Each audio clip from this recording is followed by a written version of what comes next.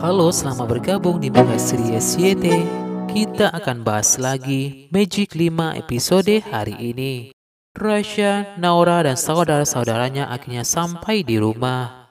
Mereka pun tidak menemukan Alif, padahal Rasha sudah menyelamatkan Alif. Akhirnya Alif pun sampai di rumah diantar oleh Tante Sari dan bersama Wira.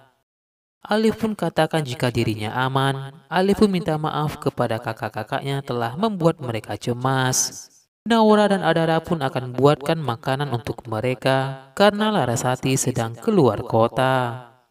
Alif pun bingung siapakah yang telah menyelamatkan mereka. Tiba-tiba Alif sudah berada di atas tepi jurang itu.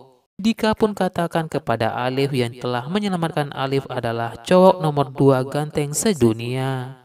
Naura pun tidak terima ucapan Dika dan mengatakan jika Rasha adalah cowok terganteng pertama di dunia. Raja pun meminta anak buahnya untuk mencari anak-anak Jakarta itu di puing-puing itu. Tiba-tiba Praja pun mendengar suara minta tolong. Praja pun minta anak buahnya untuk menolong Mistress Puki dan Rosalinda. Raja pun merasa heran kenapa Rosalinda ada di sana. Raja pun juga kaget jika pria misterius itu adalah teman Rosalinda. Rosalinda pun mengaku kepada Praja jika itu adalah anak buahnya. Raja pun bertanya-tanya apakah benar itu anak buahnya Rosalinda. Tak sengaja Praja pun melihat cincin di tangan pria misterius itu. Raja pun ingat dengan sesuatu jika dulu gagal menikah dengan seorang wanita karena wanitanya direbut oleh seorang. Raja pun jadi ingat jika lelaki dengan cincin yang sama yang merebut calon istrinya.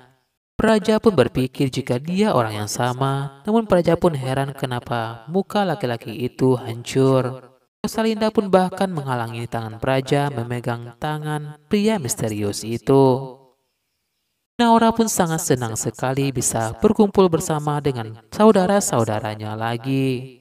Naura pun bertanya-tanya kenapa Rasha tiba-tiba bisa kembali pulih dari batu. Richard pun merasa jika semua itu akibat cairan bahan kimia itu. Richard bahkan telah menunjukkan hasil percobaannya di hadapan mereka. Mereka pun juga baru tahu kenapa bisa seperti itu. Namun Rasha pun merasa jika Rasha kembali karena aliran petir itu. Naura menyaksikan itu sendiri. Naura pun merasa jika Rasha tidak punya kelemahan lagi. Irsyad pun menguji kelemahan Rasha dengan sebuah batu. Rasha pun tidak kenapa-napa setelah terkena batu kali itu. Mereka pun sangat senang dan bahagia mengetahui kabar baik itu. Sementara itu, di tengah malam, Rasha pun sepertinya gelisah dan tangannya mengenai sebuah batu.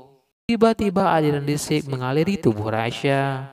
Sementara itu, Mr. Spooky pun marah dan merasa bodoh karena gagal mencelakai Rasha dan Naura.